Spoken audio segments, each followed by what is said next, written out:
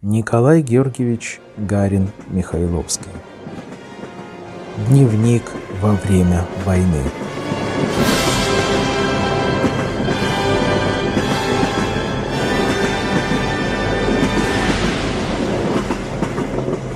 Читает Евгений Бразов-Брюшковский.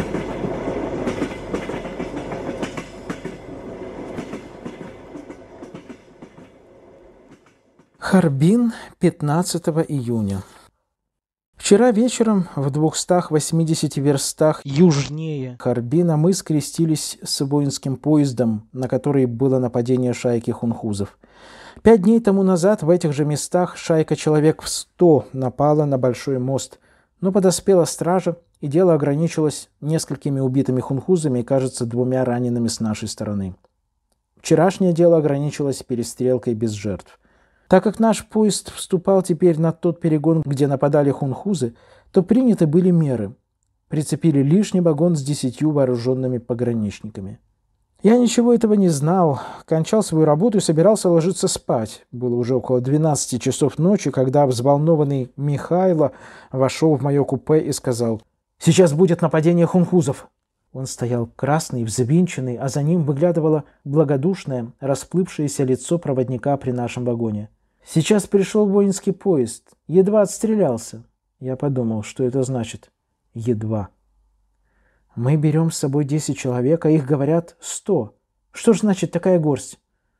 Да, нас 10, говорю я. Что ж нам? Когда только револьвер да шашка у вас и у полковника Хорвата. Как хотите, а я уж возьму сами шашку и револьвер.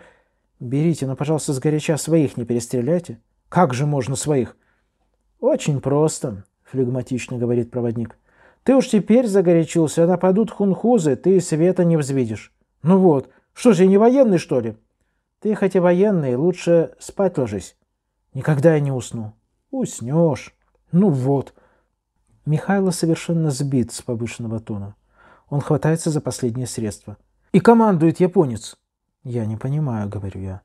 «Вы говорите, что их сто человек. Почему же они не разболтят рельсы, не устроят крушение, и когда поезд разобьется, не нападают. А то стрелять так в проходящий поезд, да еще в наш блиндированный вагон. Может, для того поезда не успели разболтить пуль, а для нашего уже и приготовили. Ну, посмотрим. Разбудите меня, если засну. Михайло недоверчиво улыбается. Не заснете. Заглянул Степан Николаевич. С нами едет между другими и казак Петренко. Доложу вам фигура. Он у нас на восточном участке рассыльным был. Мы с ним вдвоем впервые проехали от Харбина до Именьпо. Дорог никаких, глухая тайга, тропки, звериные, охотничьи, золотоискательские, хунхузьи. Тут и угадывай. Так Петренко, когда мы возвратились в Харбин, как единственный знающий дорогу, и стал ездить с разными поручениями в Именьпо. Доедешь? Как не доехать, когда проказано? Вдвое суток надо, туда и назад. А это взад и вперед триста верст. Слушаюсь. И доезжал. Ну, лошадь обязательно загонит. Еду ночью, кто-то скачет. Казак Петренко из Харбина в Имяньпо. Опять еду, опять скачет. Казак Петренко из Имяньпо в Харбин. Однажды зовет его Сергей Владимирович. На этот раз должен ты ветром поспеть в Имяньпо. Только, говорит, у меня опять лошади нет. А свою ты куда дел? Никак нет, никуда не дел. Сама издохла. До самого Харбина доскакала, а тут сразу подвело ей бока, бахнулась, подрыгала ногами и сдохла. Гонишь? Срок сами назначаете. Да, а теперь особенно торопись. Возьми на конюшню лучшую лошадь. Пожалуйте записку, без записки не выдадут. Приходит на конюшню с запиской, дают ему лошадь. Это не возьму, давай эту. Это Сергея Владимировича. А читал? Лучшую. На другой не поеду. Пошли справляться к Сергею Владимировичу. Он уже спать лег. Отдали Петренко лучшую лошадь. Утром Сергей Владимирович ехать, так и так Петренко взял. Что тут было? Приехал назад Петренко, ту лошадь, конечно, загнал. Сейчас его, раба Божия, на семь суток под арест. Ну, слава Богу, говорит, хоть отдохнул. Не пришлось. Еду я в ту же ночь, опять скачет. Кто? Казак Петренко из Харбина в Имяньпо. Я пожалел, что уже разделся. На вид плюгавый, плюнуть не на что. Степан Николаевич ушел спать, и я заснул еще до отхода поезда. Проснулся утром сегодня уже в Харбине. Михайло подает чай. «Ну, что, Хунхуза?» Михайло смущенно улыбается. «Не могу знать. Заснул. Наверное, что не нападали». Широкое, как блин, лицо проводника улыбается в дверях. «Наверное, что тоже заснули и хунхузы. А Михайло обложился весь, и шапку, и револьвер, и нож положил. Пришли бы хунхузы, взяли бы все и не проснулся б. «Кто? Я? Да я так сплю, что пальцем меня тронь!» Проводник хохочет. Я тоже знаю, как Михайло спит. Я одеваюсь и еду в город.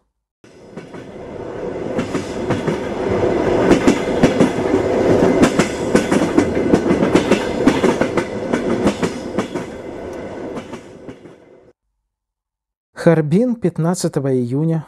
Продолжение. Прежде всего в дворянский отряд. Вижу Михаила Александровича Стаховича, барона Кноринга, Николая Степановича, Мичмана Шлиппе. Его ухо заживает, он получил Анну четвертой степени, первую награду в очереди наград, и я думаю, ему первому такой дорогой ценой досталась она.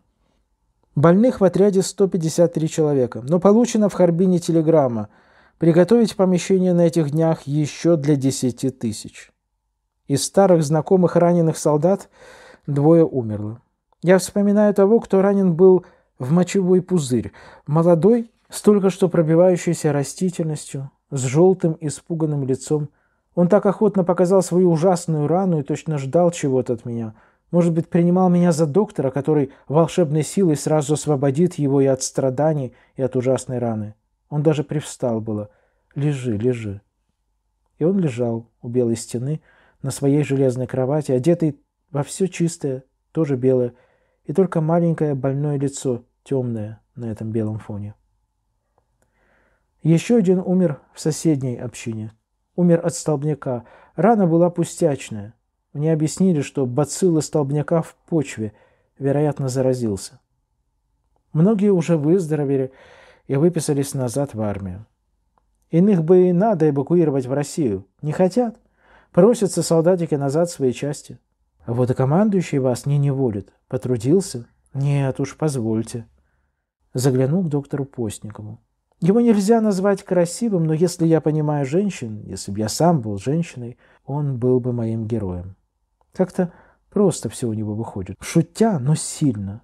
Я смотрю на него и вспоминаю его полет с 15-саженной высоты в Крыму. Изломал тогда всего себя. Какой-то знаменитый доктор тогда за бесполезностью ехать к нему отказался. Только выслушал рассказ очевидца об его падении во время прогулки по кручам, с такими же, очевидно, как и он, храбрецами, которым море по колено. И выжил. И такой же здоровый. В комнате у него на стенах висят лубочные китайские картинки, на столе парусиновая пробковая шляпа. «Не кладите шляпу на стол», — говорит серьезный и наставительно Николай Степанович. «Деньги не будут водиться». Да, вон что. Ну, теперь понимаю. Ну, как живете? Да вот, для разнообразия брюшной тиф прививаю. Замучили офицеры, пристают, чтобы эвакуировать их домой. Соскучились? Да.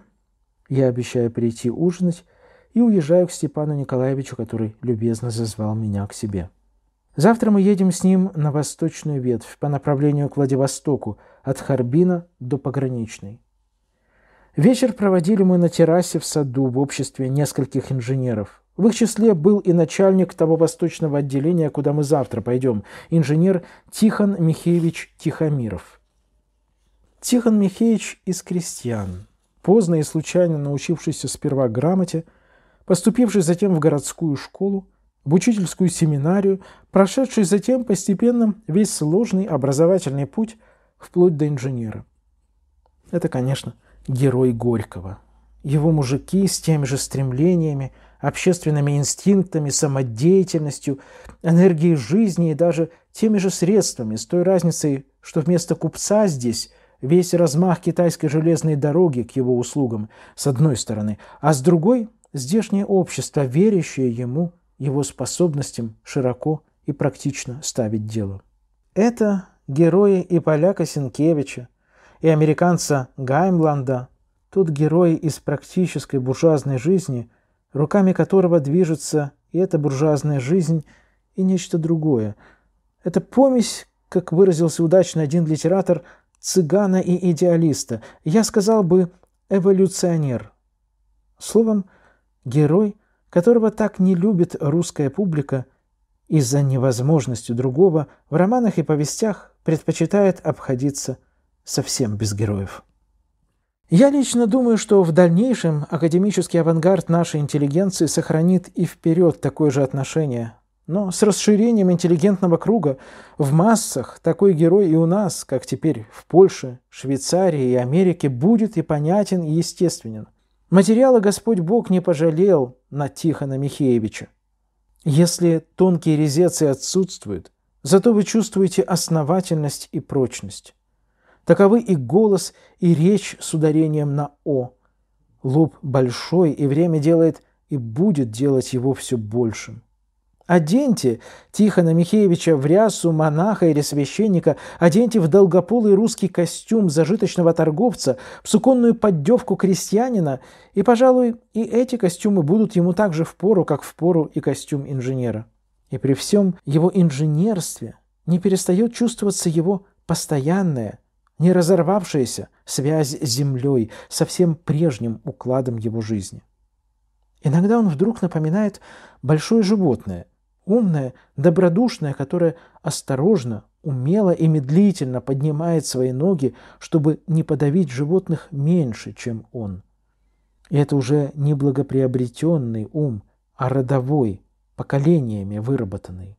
И еще очень отличительная черта этого ума – не «я», а мы. Наконец, ум Тихона Михеевича и с общерусской философской подкладкой размыслить, обобщить. Говорит он медленно, не торопясь. В детстве он заикался, уроки отвечал письменно. Уже студентом он отучил себя от этого недостатка.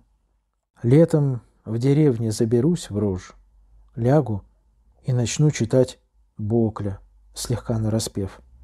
И так все лето. Помогло. Занимался гимнастикой грудной клетки, чтобы выработать длиннее дыхание.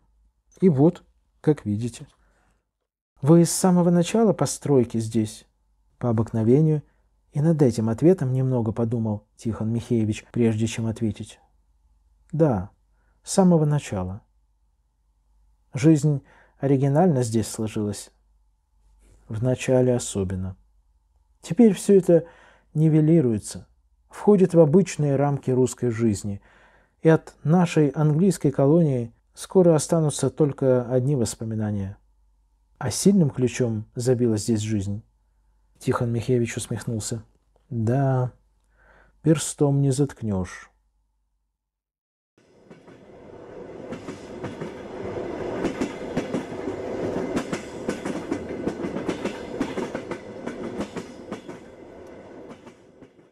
Читается по изданию Николай Георгиевич Гарин. Полное собрание сочинений. Том 6. Петроград. Издание товарищества «Маркс», 1916 год.